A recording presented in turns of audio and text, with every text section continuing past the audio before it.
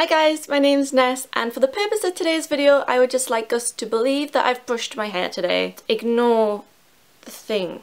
Today is a day I've been waiting for for so so long. I changed my bookshelves around today to make my summer shelf which is the books that I have to get around to reading in summer this year. If you've been subscribed to me for more than three months, you'll notice that I did a video three months ago called my spring TBR shelf, which was books that I really wanted to get around to reading in spring. And here's how I got on. So this is my spring shelf and you might have noticed that my bookshelves have actually changed. They used to be a grey colour and now I have a white one because I had to buy a second bookcase which I've already filled up and I feel really terrible about it so hopefully the summer will help clear away some of these books. Um, I started with 16 on my shelf and I read 10. The Silkworm should also be in here but it wasn't actually mine, it was my grandma's. And the ones I didn't read were Heir of Fire which is the third book in the Throne of Glass series, Wolf Hall, which is a historical fiction novel, Stephen King, um, 112263, and The Assassin's Curse by Cassandra Rose Clarke. Um, I'm currently reading Dominion at the moment, but I haven't got very far in it. And the other one which I had on here was the first book in the Mistborn um, trilogy, but I actually gave that, well, I'm giving that book to Rebecca from Crafts and Reads because in a charity shop I actually found like a full set of three of them, like a box set. Um, so I didn't get around to reading that, but now I want to read all three in one go. Um, I might actually put them on my summer shelf. I'm not too sure what's going on here yet. I did put something on Instagram about it, and someone's been sending me some recommendations of what I should read, um, which I'm really happy about.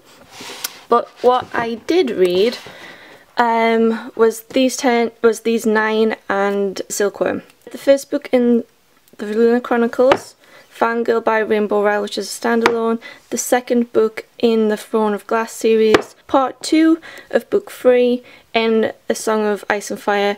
Actually, after I read this, I went and read the fourth one straight away. So I haven't just been reading these books, I've been reading other ones as well. I read Shadow and Bone, which is the first book in the Grisha trilogy, and I hated this. Nope. Um, then I read Delirium by Lauren Oliver, which I also didn't like. And then I read these Broken Stars, which I have an individual review of this one on my channel, which is two videos back I think, and I really loved this.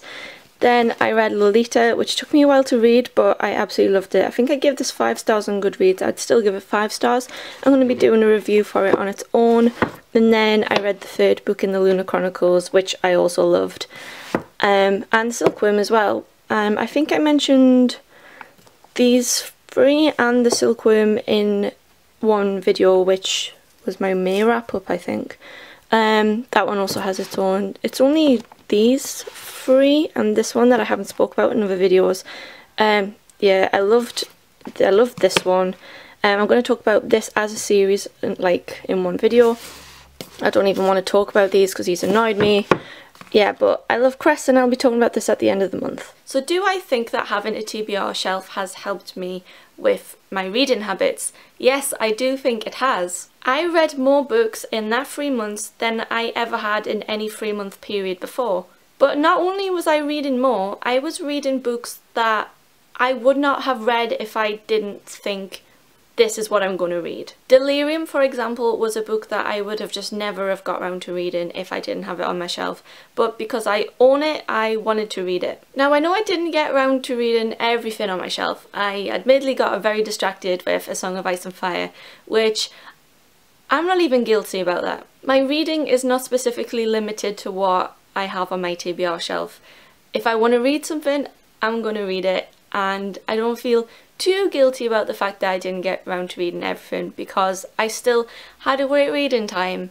So when making my summer shelf I have reflected on some of the things I learned about having a spring shelf. I've put a couple of more books in, I've added a wider range of genres, a wider range of authors and locations, settings, what the book's about, cry, funny, fantasy, you know I've kind of got a little bit more in there. Some of these books are going to be buddy read which will make it even greater, I've never done a buddy read before and I've probably set myself up for two this summer so I'm really excited and if there's any books that you think you're going to read in this Um, let me know in the comments, add me on Twitter and we can talk about it as we're reading it. It gives me great pleasure to announce the books that I will be reading in this summer season right now. Okay, now I have my summer shelf, finally. I've been looking forward to this moment for ages, and these are the 18 books that I want to read in June, July and August, and finishing somewhere at the start of September in three months' time.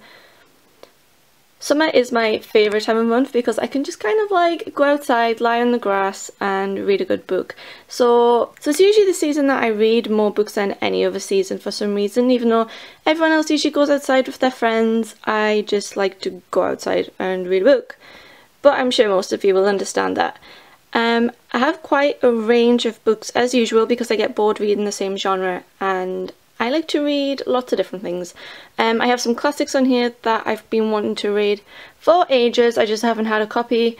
And I've got some light-hearted stuff, some travel kind of stuff, some really sad books in here, and some that I want to buddy read as well. And of course I have Minnie who will move along as I read the books and show me my progress from my bed so I can feel guilty that she isn't even halfway through the shelf in July. This isn't exactly the order I'm going to read them in, I'll probably just pick some at random, but first off I have the first Lord of the Rings book. To Kill a Mockingbird by Harper Lee, Brave New World by Aldous Huxley, 1984 by George Orwell, Pride and Prejudice by Jane Austen, A Court of Thorns and Roses by Sarah J Maas, Jane Eyre by Charlotte Bronte, which I've never read. Like, I've not read any of these books. I'm really disappointed in myself. Wuthering Heights by Emily Bronte.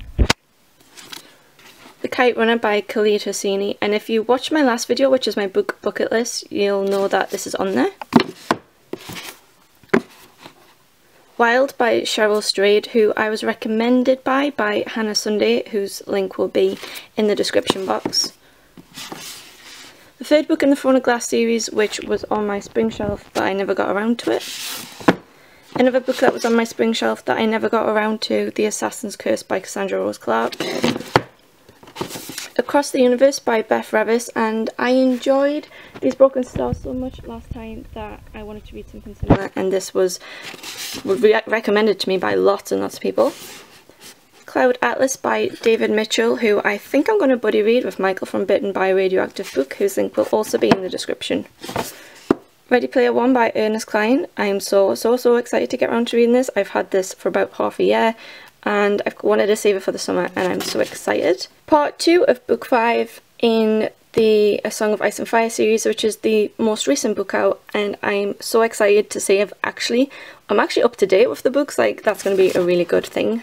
This is three books in one. This is a trilogy by Murakami and I've never read anything by him, but I wanted to read it in the summer because it'll be the two year anniversary of my time in Japan and I'm every day I really think about it and I'm dying to go back and I just wanted to get a bit of a range in where the authors were from where I was reading this, for example, The Kite Runner. Um, I just wanted some variation in the authors. And I just haven't read a good autobiography in a while.